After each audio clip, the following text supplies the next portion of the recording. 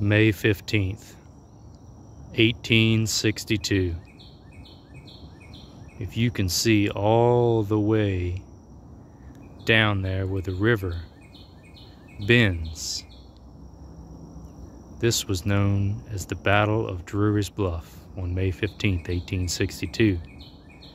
Today is the 160th anniversary of this infamous battle where the Union Army tried to take the Confederate capital, Richmond, Virginia, by water.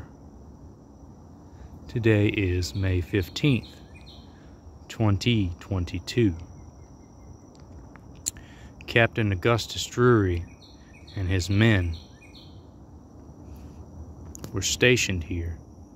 This was actually Captain Augustus Drewry's land. It is named after him.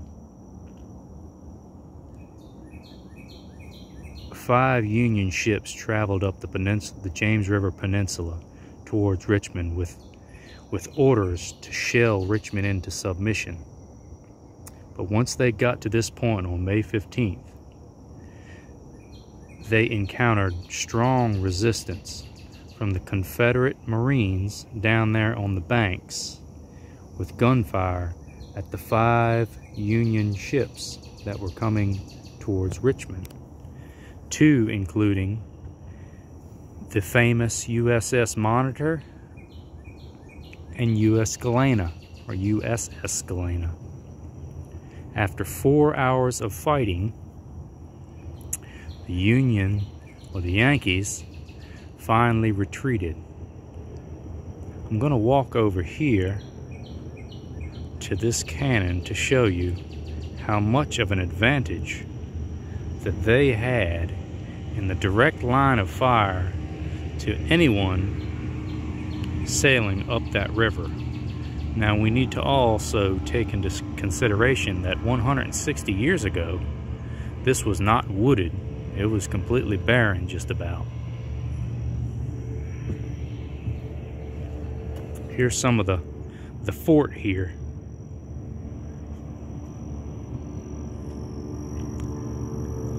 One of Richmond's strongholds. It's about seven or eight miles outside of Richmond, Virginia.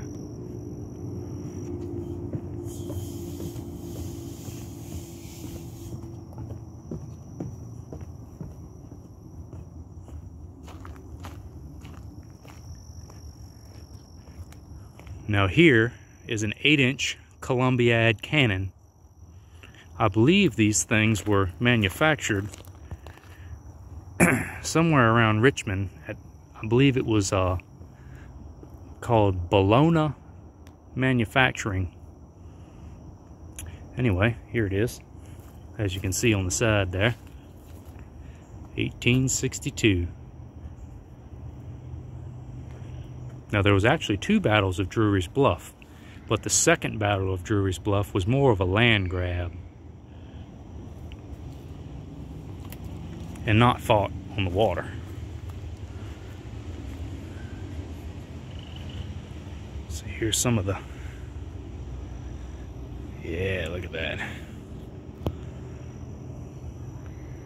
Guarding them from any kind of shell fire.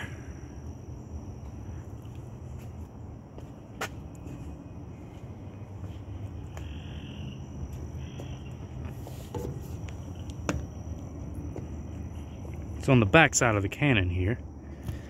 And you can see the direct line of fire from here. The Union Army stood no chance.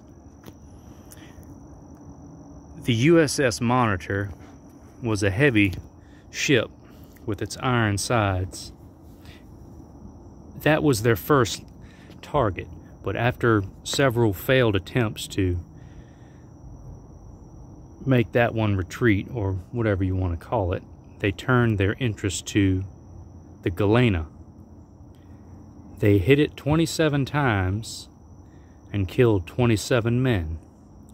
The Confederates suffered 15 casualties at the Battle of Drewry's Bluff, and Richmond would never again be threatened from the Union Navy or Union Army by the James River.